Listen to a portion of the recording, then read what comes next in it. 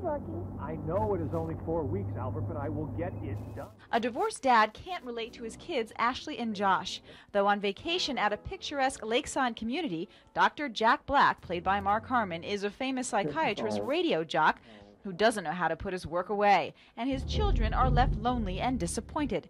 10 year old Ashley, played by newcomer Sarah Wayne, finds companionship in a gentle creature who lives in the lake.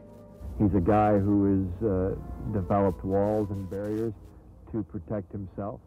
He's usually on the phone, and he's always buried in his paperwork. Monster, he's real. He ate my cookies. His name is Orky, a sort of friendly Loch Ness monster who shares Ashley's passion for Oreo cookies. When Jack Black finally sees Orky with his own eyes, he experiences a complete turnaround and becomes the father he always should have been. Jack, have you seen the monster?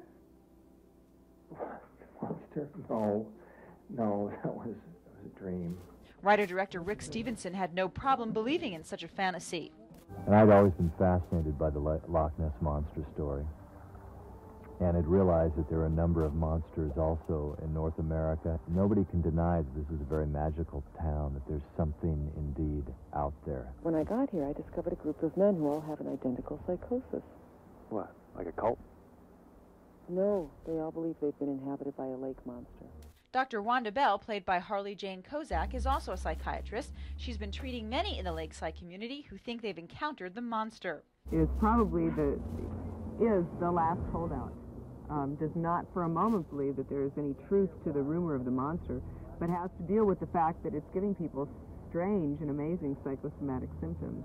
Magic in the Water is a family film meant to bring a little magic to kids and to adults who've lost their innocence but wouldn't mind finding it once again.